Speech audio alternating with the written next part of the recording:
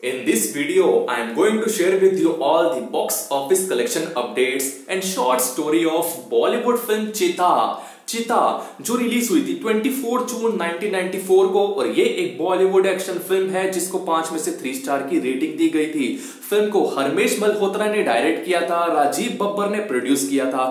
Film के writer है रवि कपूर अब करते हैं फ़िल्म से जुड़ी कास्ट की बात। तो फ़िल्म में जो है मिथुन चक्रवर्ती अश्विनी भवे, शिखा स्वरूप, पुनीति सर, गुलशन ग्रोवर, रजा मुराद, राकेश बेदी और प्रेम चोपड़ा। लीड रोल में और सपोर्टिंग रोल में नज़र आए थे। अब फ़िल्म जो है, सबसे पहले बात करते हैं कलेक्शंस की। तो फ़िल्म का जो इंडिया का लाइफ टाइम नेट कलेक्शन था, वो था three crore sixty one lakh rupees का। इंडिया का लाइफ टाइम जो ग्रॉस कलेक्शन था, वो था six crore sixty eight lakh rupees का। इंडिया से बाहर, यानी ओवरसीज मार्केट छह लाख रुपए की कलेक्शन की थी।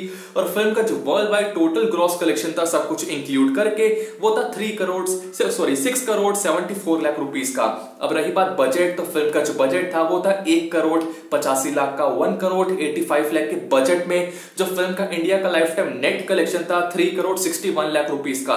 तो उस हिसाब से फ़िल्म की जो वर्डिक्ट रही थी, यानी हिट और फ्लॉप की, वो थी हिट यानी फ़िल्म को बॉक्स ऑफ़िस पर हिट की वर्डिक्ट दी गई थी। चिता बॉक्स ऑफ़िस पर हिट साबित हुई थी।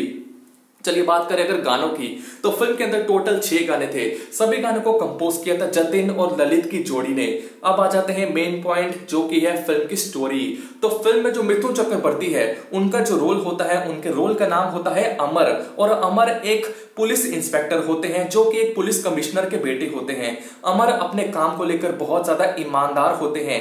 जिसकी वजह से उनको चीता के नाम से जाना जाता है। चीता यानी जो एक जानवर होता है तो अमर को चीता के नाम से जाना जाता है। लेकिन उनके काम की वजह से, उनकी ईमानदारी की वजह से उनके बहुत सारे दुश्मन भी होते हैं। और अमर को कहीं से पता चलता है कि उनके बहुत सारे दुश्मन है। तो अमर क्या करता है कि फिर अपने दुश्मनों की छानबीन में लग जाता है। मतलब इस तहकीकात में जाते हैं कि उनके दुश्मन कौन है, वो क्या चाहते हैं। तो जैसे ही उनके दुश्मनों को पता चलता है कि अमर उनकी छानबीन कर रहा है तो दुश्मन क्या करते हैं? एक प्लान बना के अमर और उसके घर वालों को मार देते हैं। फिर क्या होता है जब अमर के घर वाले तो मर जाते हैं, लेकिन अमर जो है वो कोमा में चला जाता है। अब अमर तो अमर है, वो मरता नहीं है। तो लेकिन लोगों को क्या लगता है कि अमर मर चुका है? उसके बाद क्या होता है, जब अमर को होश आता है, तब होश आएगा, अब तक समझ सकते हैं कि कहानी में क्या होगा। अमर जो है, होश आने के बाद, ठीक होने के बाद, अपने दुश्मनों को ढूंढते हैं और उनसे, उन्होंने जो घर, उनके घर वालों को जो मारा था दुश्मनों ने, दुश्मनों से उन चीज़ का बदला लेके दुश्मनों को मार देते हैं। तो चलिए दोस्तों, इसी के साथ इस वीडियो में फ़िलहाल इतना ही।